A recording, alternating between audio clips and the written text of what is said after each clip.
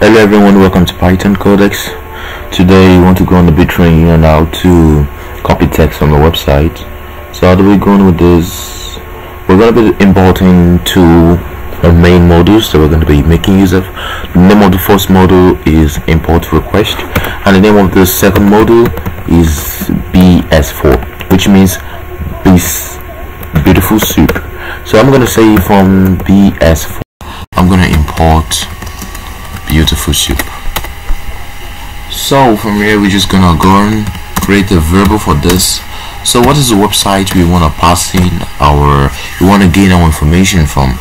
Um what what what is the name of the website? You know you just have to put in the link of the website that you want to get your message from.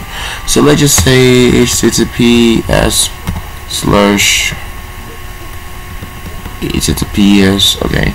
Let's gain um let's go search for a website. I have enough network is not right good on this phone here. So I'm just gonna get the website from here. And then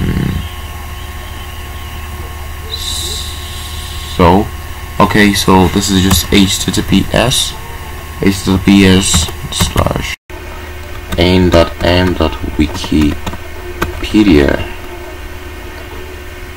dot org the org slash wiki slash bl dance.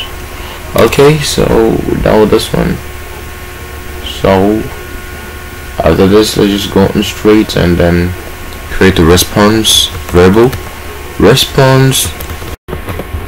So response is equal to the request. Request dot url dot the request dot get.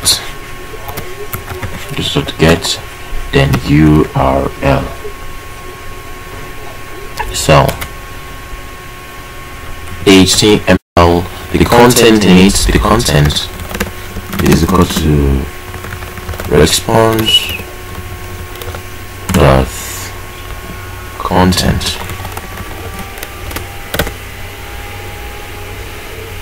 Soup is equal to beautiful soup.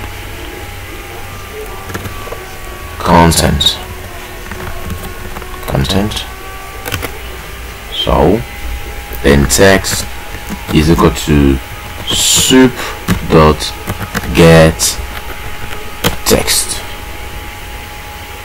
Then just just print text. This is just a simple way of doing this so you're just gonna print out okay? We have some couple here you said um okay. It's caused by the network okay? That's true. We need a network connection. We need a network connection. It just connects to my aux here so let's refresh this. So yeah it just printed everything in this. It printed everything about names the, the actress here so you see it's claiming everything. So everything about names is being printed right here. Everything that is just in the wikipedia website is printed. Names born in so so so so so so so so this this and that. Blah blah blah blah that is the reason. And that is how you can copy the text that comes from a website. And so this is this is the way we can do it guys. So if you guys need other projects you want me to help on with you can just comment down below. Thank you very much